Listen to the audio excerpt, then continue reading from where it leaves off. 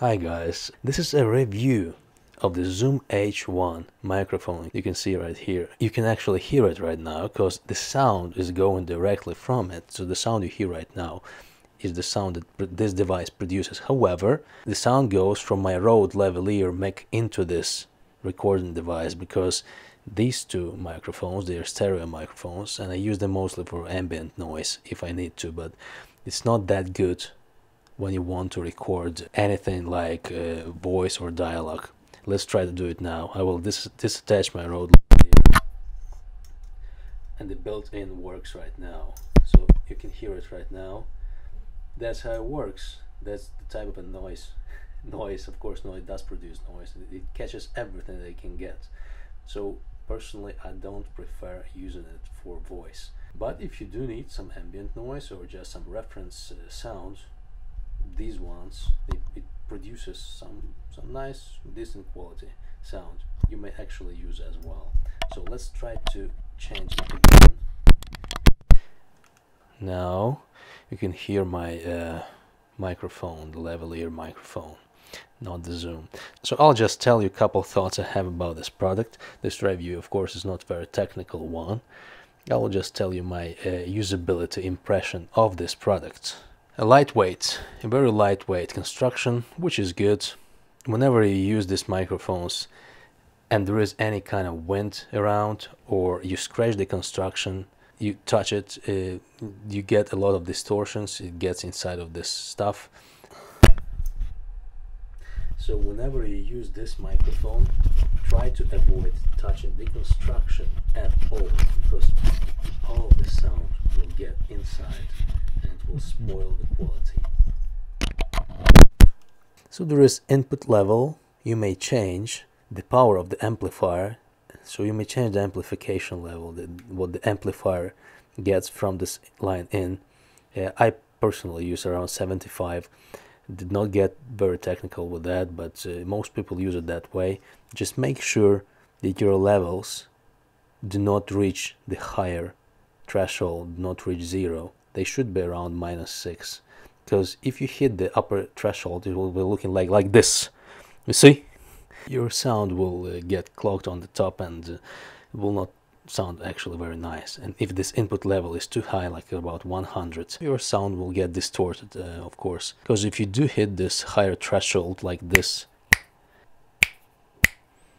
then you get this recording peak indicator here indicating that your sound gets distorted because of this input level threshold. You have uh, regular control buttons, play, rewind. You can delete your recordings from this device. You may put it on hold, you may switch it on. There is USB out, you may use it to transfer your recordings. It will not charge your microphone because this mic uses regular AA batteries.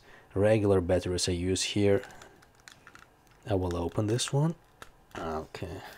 It's hard it's hard to open. Just yes I managed that. So I use a regular battery here AA battery.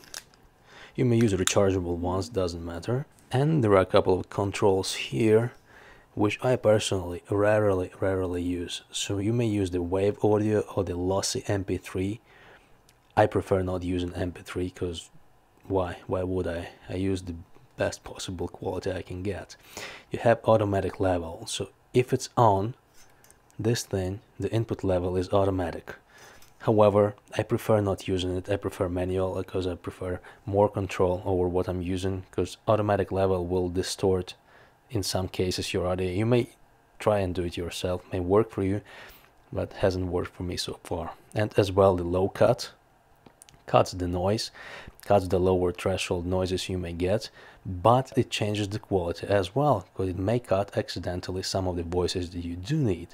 So I prefer recording my audio with low cut off, and then in case I need any kind of a low cut, I can do it in any kind of editing program. Not that big of a deal. And one extra feature there is in this microphone, this recording device, is this one.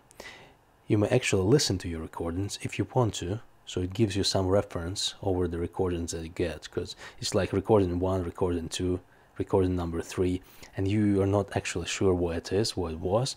So in case you need it you may listen to it and you may connect your earphones as well and listen to them. And there is this volume control here just as a reference speaker you have it here. And this headphone jack that is in here may be actually used with this cable that is 3.5 millimeter jack from both ends you put it in here and you put the other one into your camera. So the sound that you're recording from this device goes directly into your camera and may be used as a microphone for the camera. However whenever you do this whenever you do this this way, the quality will not be as high as when you record directly onto this device. If you give it as a reference, if you give it just as a headphones and goes through this device into the camera, the quality will be always lower than, than whenever you record it directly into the Zoom H1. So one of the things to consider. Apart from that, a very nice lightweight, cheap, cheap, semi-professional recorder you may get that also looks quite nice and may fit into your pocket. Comes with accessories, there are different packages you may find on Amazon. May come with accessories, may not. Mine came with some of them, like this one, and there is a fur, furry thing you may put in here. Mostly I don't use them, but I think whenever there is a windy weather and you want to use it outside, may be quite useful. So this was it guys, a review of Zoom H1 microphone.